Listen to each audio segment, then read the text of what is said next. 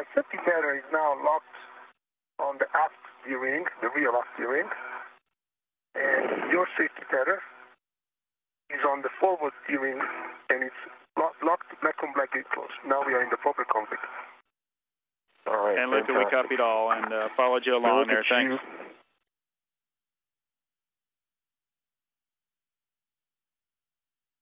You're doing a skills run. This is where they would uh, tell me to rescue you. And Luke, the last question, and Chris, you might be to help out. Is it uh, something like the mini workstation or your safer that's restricting you when you try to move any? So what I what I see is the BRT could be completely loosened and sent down by your leg, and the mini workstation might flatten out then into the gap. If that makes any sense, Luca. Um, I don't know. You're the guy on the scene. I'm just. what was blocked? The guys, it's uh. Yeah, but the, your BRT was bunked. See the handrail that your left hand is in right now? hmm Your BRT was stuck on it when I arrived, Okay. and it was pushing you high such that your backpack was against the other handrail. Okay. So like this. There you go. Yep, that freed up. You're still, you're still wedged in there pretty darn good, Shane. Uh, Chris Cassidy is going to begin translating uh, over to his next task, uh, which will be uh, the installation of some uh, V-guide bolts onto one of the radiator grapple bars that was installed uh, on the spacewalk uh, last week on July 9th. Uh, Cassidy already uh, completing the uh, Z1 jumper cable installation, a continuation of last week's uh, Z1 jumper cables. Over my my Snoopy cap. I see beads of sweat. No, no, it's not sweat. No, it's not sweat. Hey, Luca, can you clarify? Is it increasing or not increasing? It's hard to tell, but it feels like a lot of water. Oh, I see. Uh, I see it now, wiggling.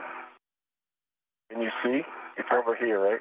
Yeah, yeah, that's, yeah. But I have um, I have that, and then there is uh, about the same amount of when I took the helmet out last time, Chris. Really? Yeah, I, I can feel it in the back of my head. Uh huh. I don't, I, I can, I don't understand where it's coming from. It can't be the It has to be the bag. Can you suck it dry?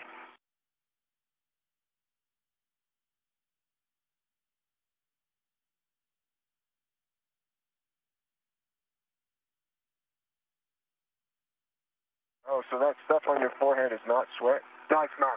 Oh, I see.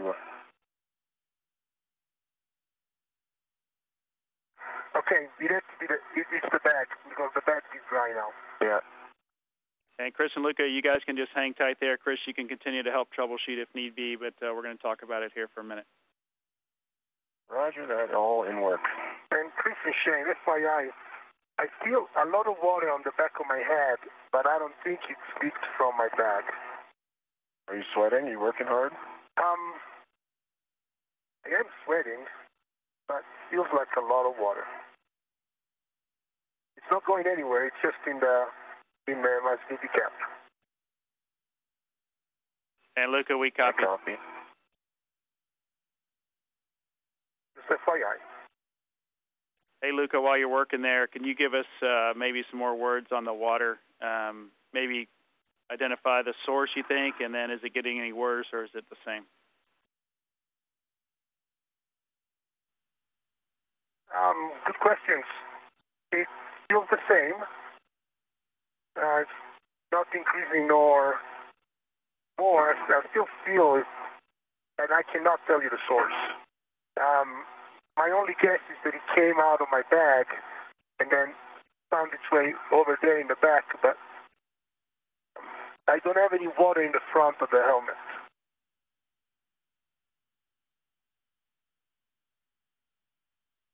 Yeah, I'm thinking that it might not be the water bag. It, it, there's no other place for it to come. Unless it's sweat or urine. I guess it must be sweat then. Yeah. How much can I sweat though? You're- Hey, Luca, oh, can you yeah. give us a status of where you think? It sounded like we just heard you cannot hear. Um, is that true as well? No, no, no. I can I can hear perfectly. I can still hear perfectly, uh, but my head is really wet, and I have a feeling that it's increasing.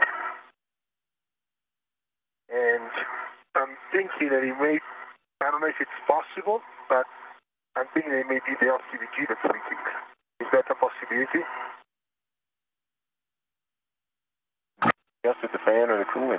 No, I haven't touched anything. So you, the leak would remain and they would see data. But where, where is it coming from then? It's too much. I don't know, it's a lot. Nice in my eyes.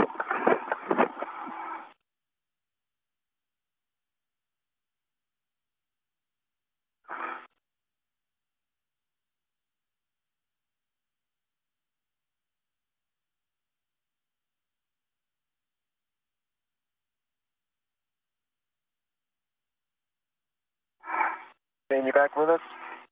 All right, Chris and Luca, just for you guys, uh, based on what we heard with Luca's saying that uh, water is in his eyes now and it seems to be increasing, uh, we think we're going to terminate EVA case for EV2.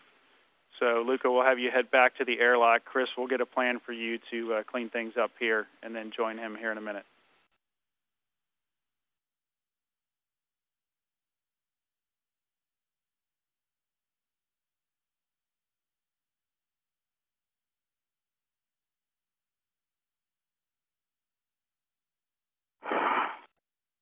Hatch is open, Shane. Luca's going to the crew lock. Copy, Chris. Sure. Thanks. Equipment lock.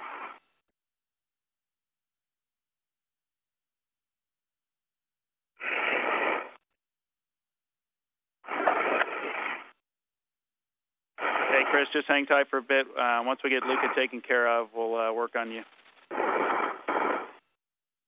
No problem. I'm in no rush. I got a ringside seat.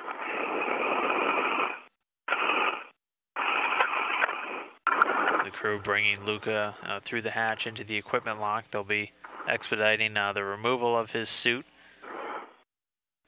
getting the helmet off uh, first thing, and leaving uh, some of the other components like the safer and the uh, workstation attached. Meanwhile, Chris Cassidy standing by inside of the crew lock.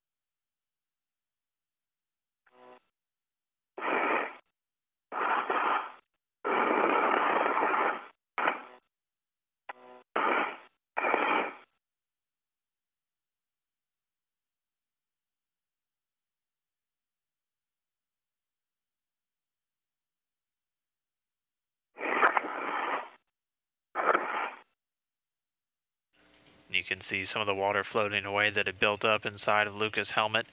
Uh, helmet off, and Luca safely back inside.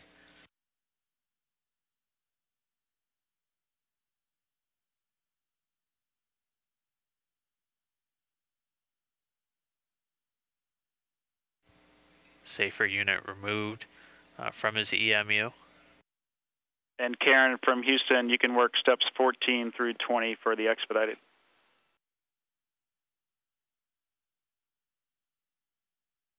Fourteen is complete, and we'll continue on with the rest.